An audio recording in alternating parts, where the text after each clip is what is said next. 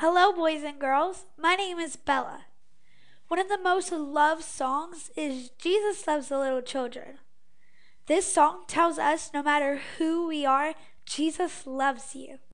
One day, some of Jesus' friends wanted to know who the most important people were.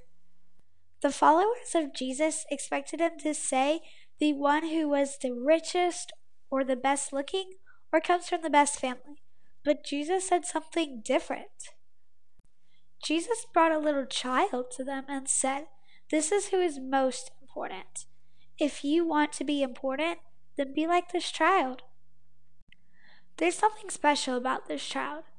What Jesus wanted his followers to understand was to be great, you must be humble.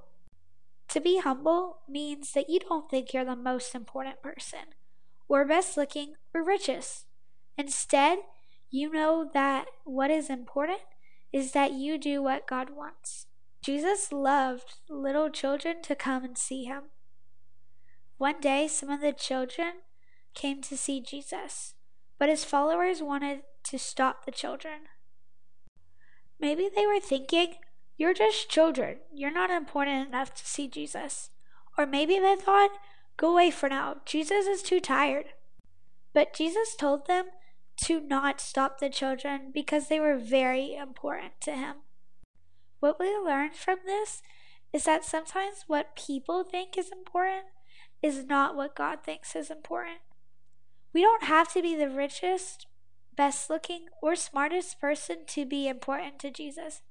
Jesus wants everyone to be his friend, especially people who need a friend.